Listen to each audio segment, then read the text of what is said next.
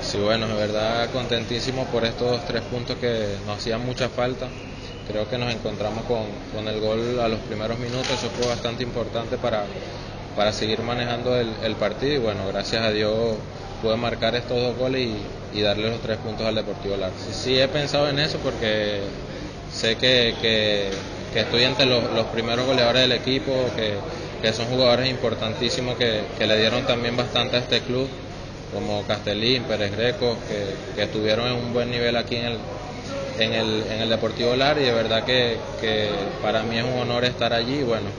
eh, espero que en los próximos partidos se me pueda, se me pueda dar ese gol para, para estar en, en, el, en el primer eh, podio de, de, los goleadores del Deportivo Lara.